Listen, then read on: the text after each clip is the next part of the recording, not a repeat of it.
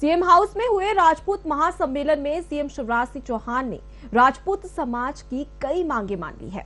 आपको बता दें कि भोपाल सहित प्रदेश के अलग अलग शहरों से करीब पंद्रह हज़ार राजपूत समाज के लोग समागम में शामिल हुए हैं। वहीं, जहाँ मुख्यमंत्री ने मंच से ऐलान किया कि अनु आभान टेकरी पर रानी पद्मावती का स्मारक बनेगा। सीएम ने स्मारक के लिए भूमि पूजन भी किया। इस दौरान सीएम ने राष्ट्रीय करनी सेना महासचिव सुरेश सिंह सोनगरा का स्वागत भी किया है। चुनाव से पहले मुख्यमंत्री शिवराज सिंह चौहान सभी वर्गों को साधने में जुट गए हैं। बीते दिन सीएम हाउस में हुए राजपूत समाज के महासम्मेलन में सीएम ने राजपूत समाज की लगभग ज़्यादातर मांगों को मान लिया है। मुख्यमंत्री ने मंच से ऐलान किया है कि मनुआभन टेकरी पर रानी पद्मावती का स्मारक बनेगा। साथ ही सीएम ने स्मारक के लिए भूमि पूजन भी किया। देश के गौरव है जी। केवल अपने नहीं देश के प्रकाश स्तंभ, प्रेरणा स्रोत, उनका जन्मदिन धूमधाम से मनाए। और इसलिए उस दिन सार्वजनिक अवकाश रखा जाएगा। क्या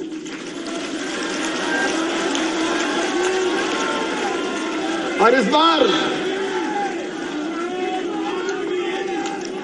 और हमेशा मनाया जाता है, लेकिन इस बार और धूमधाम से ऐसा हो जाए कि सारा देश देखता रह जाए।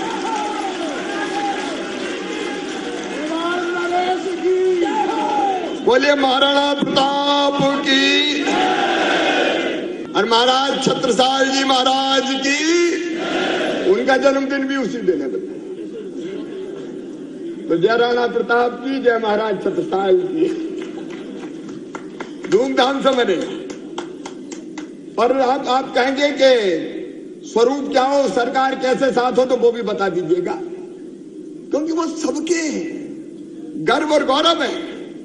देशभक्ति के पर्याय, स्वाभिमान के प्रतीक है। मैं उनके चरणों में सत सत नमन करता हूँ।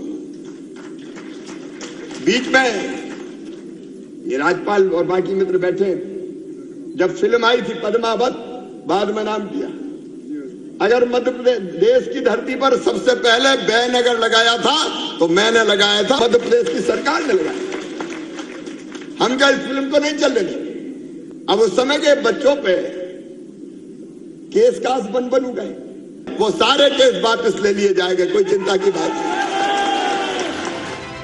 इस सम्मेलन में सीएम ने इंदौर से राष्ट्रीय करनी सेना महासचिव सुरेश सिंह सोनगरा का स्वागत किया।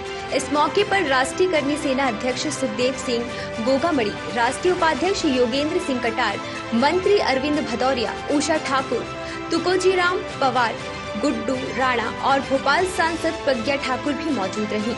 मांगे पूरी होने पर राजपूत समाज के लोगों ने सीएम का आभार व्यक्त किया।